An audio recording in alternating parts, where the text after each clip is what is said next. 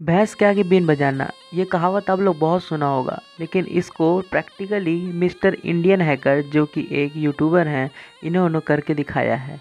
तो चलिए देखते हैं इस वीडियो में भैंस के आगे बीन बजाना भैंस का रिएक्शन कैसा होता है। काजल राइट मैं दूर साइड कर थोड़ी सी हाँ।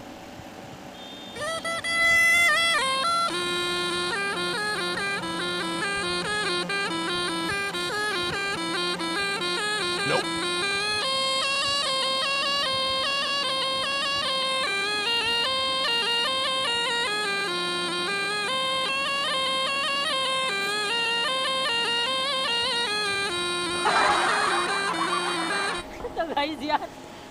भैंस के सामने बीन बजाने से कुछ नहीं सही में कुछ नहीं हुआ पकड़ो इसे।